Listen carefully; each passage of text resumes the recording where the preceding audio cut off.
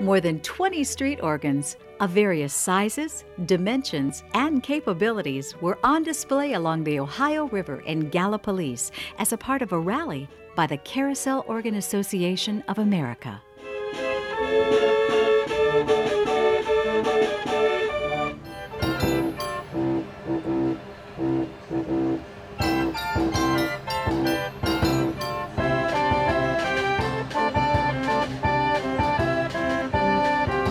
The gathering in Gallipolis is one of about half dozen rallies the group holds each year. Some of the instruments are relatively simple, like this one, owned by Tim Wagner of Fairport, New York.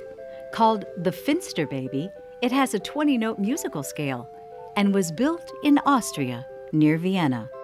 It weighs only 12 pounds. Martin Anderson of Seneca, Pennsylvania, has a special talent the ability to play two crank organs at once.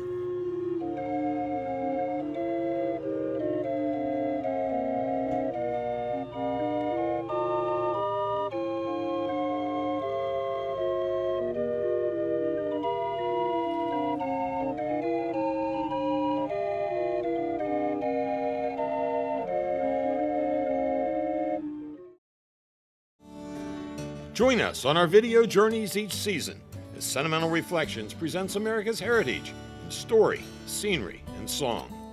For more information about the video magazine or to become a subscriber, call 1 800 762 0338 or visit us online at sentimental.cc.